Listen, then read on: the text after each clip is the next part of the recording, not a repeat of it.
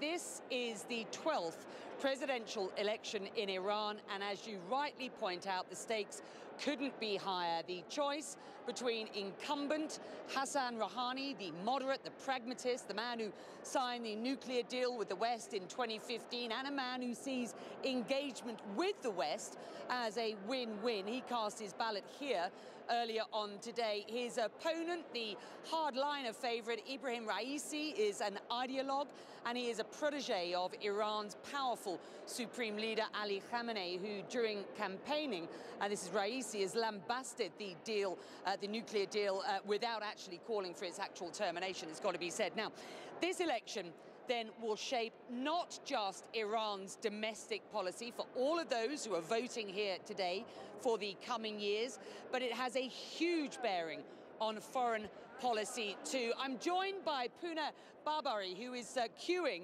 to cast her vote. When I say queuing, and I say patiently queuing, tell me how long you have been here. Yeah, I stayed in queue about six hours. Yeah. Six hours, and that was on my on foot. your. Yeah, in the morning, just drank a cup of coffee.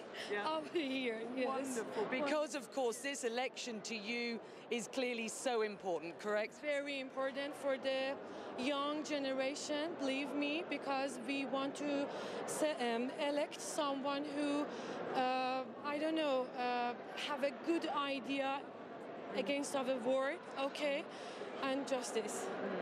I'm not going to ask you who you're going to vote for, because um, that wouldn't be fair. Um, but I will ask you what it is that you hope the rest of the world will understand uh -huh. about Iran today and going forward. Understand that Iran has democracy. Believe me, all people now practicing about the democracy.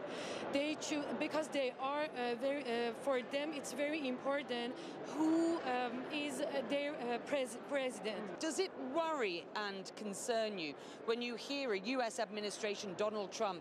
really with quite bombastic language about this country.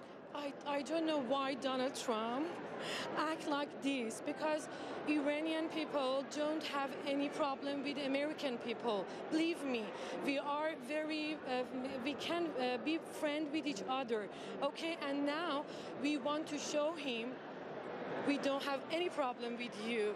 Well, listen, you you have an opportunity to vote here. This is a very, very open process. You can actually even see what people, uh, the, the, the, the, the uh, character or the candidate that people are putting down on their paper. We thank you very much indeed. Get yourself back in the queue. I would hate for her not to get an opportunity to vote when she's been queuing for six and a half hours. Uh, Maggie, I, I think uh, that voter really summed up how so many people that I have spoken to here, so many people I, I know uh, uh, who are living, for example, in uh, Abu Dhabi or Dubai, so many people we know around the world, how young Iranians feel about their country and about how they are perceived around the world. This is a crucial vote. Call it, if you will, a referendum on that nuclear deal. Um, one of these candidates sees that as an opportunity. Perhaps the others, the more hardliners, not so much. Back to you.